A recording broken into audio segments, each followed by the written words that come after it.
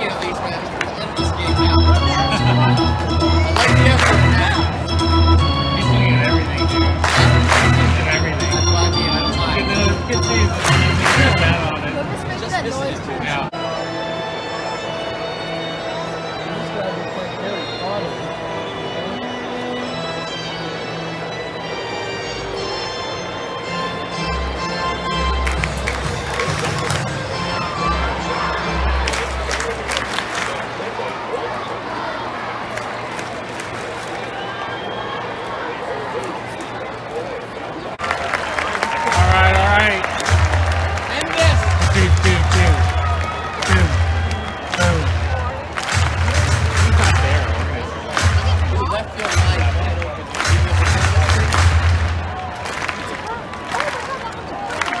Reckless one out there.